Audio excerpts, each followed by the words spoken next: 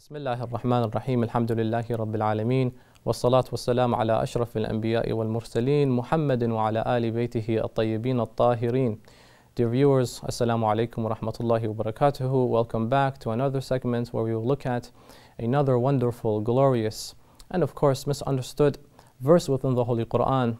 This time it is none other than Surah Al Ma'idah, chapter 5, verse number 38. Bismillah ar-Rahman ar-Rahim. والسارق والسارقة فاقطعوا أيديهما جزاء بما كسبا نكالا من الله والله عزيز حكيم. And the thief cut their hand off if they are deserving of that. Indeed, Allah is the most authoritative and understanding. This ayah, again, is at the center of misunderstanding and is the subject of controversy. In that, if a small criminal act is occurring, a very common criminal act occurs, then the result and punishment, the consequence of that act, is for the hands to be severed and chopped off because somebody steals something. Now, in a general sense, this absolutely cannot be established at all because there are no contents or contexts that have been placed down with the Quran analyzing this verse. Meaning, under what conditions does the hand then get chopped off? In any condition? In, in, the, in the case in which perhaps somebody steals a pack of gum, do we then remove the hand of that person? Do you see why now perhaps this is a very controversial and of course misunderstood verse? Or can anybody then take anything they like, perhaps if they were hungry, let's say, they take what they wanted because they were hungry to fulfill a desire. They stole technically, but then does that mean they are the fall in this condition of remove their hand because the Quran states that a thief, male or female, then remove their hand, for indeed they have committed theft. You find that, brothers and sisters, this verse was revealed during a time in which the ultimate supreme jurist, the Hakim al Shari'i, was none other than the Holy Prophet of Islam, Muhammad sallallahu alayhi wa wasallam. And he established the prerequisites and the conditions of this verse. Him and Ahlul Bayt, of course.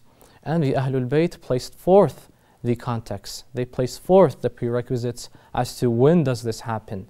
It would happen in a situation and a scenario in which a thief decided to, with all audacity, take something that doesn't belong to him or her.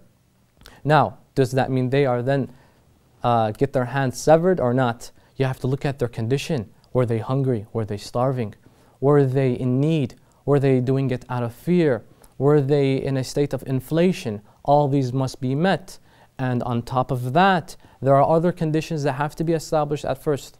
Many of our scholars state that they, there needs to be a witness, two witnesses, several witnesses. This person must have done it several times before. In this condition, this doesn't happen now today because number one, the Hakim al-Shari'i, the infallible that establishes these said legislations is no longer around. As in we have the Imam Ma'soom, but he is in a state of occultation, ghaiba. And he is the only one given authority to dictate whose hands get severed or chopped off. And in a situation like this, if we have other means of, uh, of diagnosing, of finding a solution to an a situation like this, then we would rather do these than that. And for example, back then, in that time and in that era, whenever somebody wanted to travel, they would use a horse or a camel. And in certain conditions, water was very, was very hard to find and difficult to get and reach to. And so, in under certain circumstances, you were allowed to drink, let's say, the urine of the camel, perhaps, because you're in a state of drought, you're in a state of tiredness, and so that was made permissible. Nowadays, we all have cars. This doesn't apply with us today.